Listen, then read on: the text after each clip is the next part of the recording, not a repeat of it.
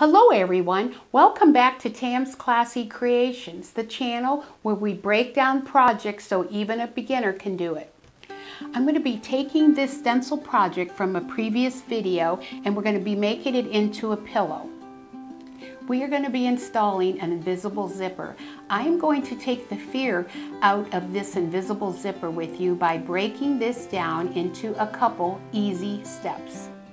First, we need to prepare our pillow. I have set the paint with an iron. Next, I have squared this block up to 15 and a half, so it's gonna be a 15 and a half inch square.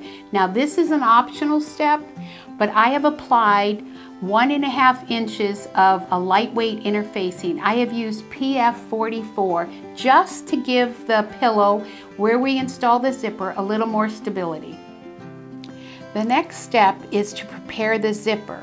So here is an invisible zipper and also we need it to be longer than um, what we're putting it into. So it is over 15 and a half inches. What we are going to do is iron it flat. Where the teeth stick up here, we need to have it lay flat. So we'll be pressing that to get that to lay flat.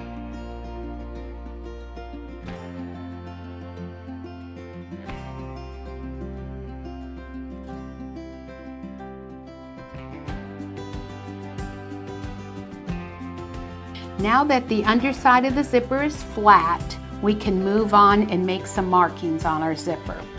We are, this is a 22 inch zipper. Anything longer than a 15 and a half is fine.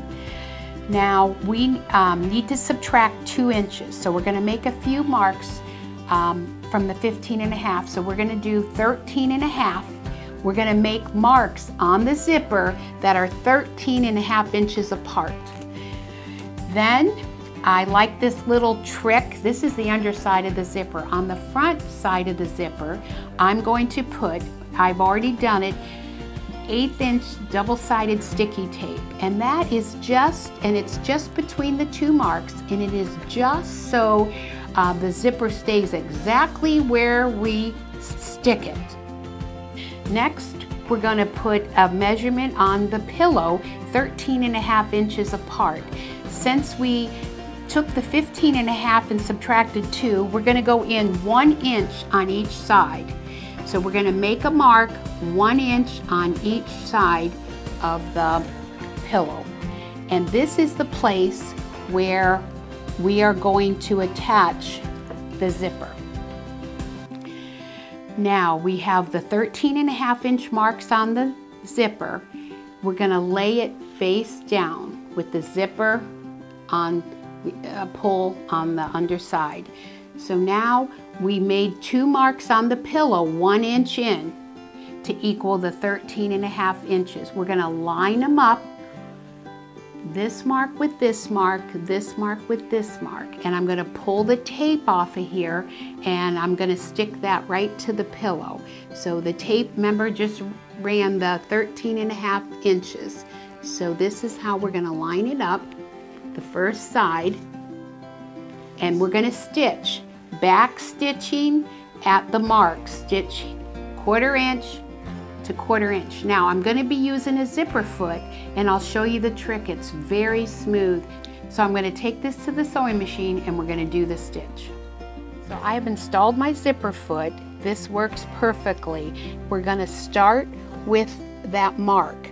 Now we're going to see how I have the zipper foot over the teeth and I have this part of the zipper foot running running across uh, along the teeth.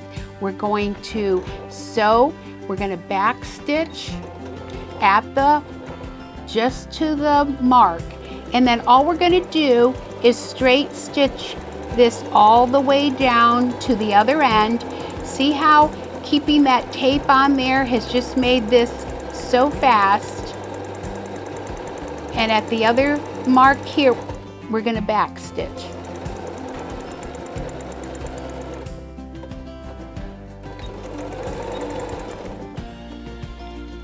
Now I'm going to show you how to uh, attach the other side. Now we've got the zipper in the one side. Now the zipper is facing up. So we want to lay our um, other panel right side down on top of the zipper. And we are gonna be matching, again, those two marks and taking our tape off and sticking it. And then we're gonna sew that. Remember, we're gonna sew both lines. We're gonna back stitch here, quarter inch down and back stitch here. And I'll meet you back when I have this done. Now I've stitched this side of the zipper in and let's let the magic happen. Let's, this makes your invisible zipper and it makes for a two-sided pillow. So now there is just one more step with the zipper and then we can put the pillow together.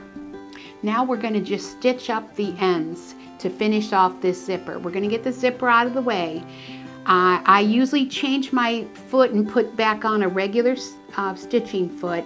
So we're going to stitch a quarter inch. We're going to back stitch here and we're going to sew right to the dot, just to the mark we made there. And we're going to back stitch there. And we're going to do that on both sides. So we're going to get this zipper out of the way here we're going to stitch a quarter inch stitching here to the mark and back stitch and then I'll meet you back here. So I have these stitches done and the zipper is totally finished. Now what we're going to do is stitch the quarter inch to, to finish our pillow. Quarter inch, quarter inch, quarter inch around. Now before we do that we need to make sure the zipper is open so we can turn it. And one final thing I will do, I will stitch across my zipper back and forth before I cut it off. So I'll stitch both ends. I'll stitch back and forth here and I'll cut it off. It just gives it some added uh, security. And I'll meet you back here and we'll be ready to put a pillow in it. I did a quarter inch seam around the rest of the pillow, the three sides. I turned it and I put a pillow in. So I have a two-sided pillow and I have an invisible zipper. Now, if you really wanted it invisible, you still could do a gray zipper instead of white. I wanted to show a white zipper. I hope you enjoyed the video. Now you can create your own pillow with an invisible zipper. If you have any questions, please comment below. I'll be sure to answer each one. If you thought the video was informative, give it a thumbs up. Please remember to subscribe and hit the notification bell so you'll be notified when I release a new video. There are new videos each week. Well, that's all for today. Thanks for watching. See you in the next video.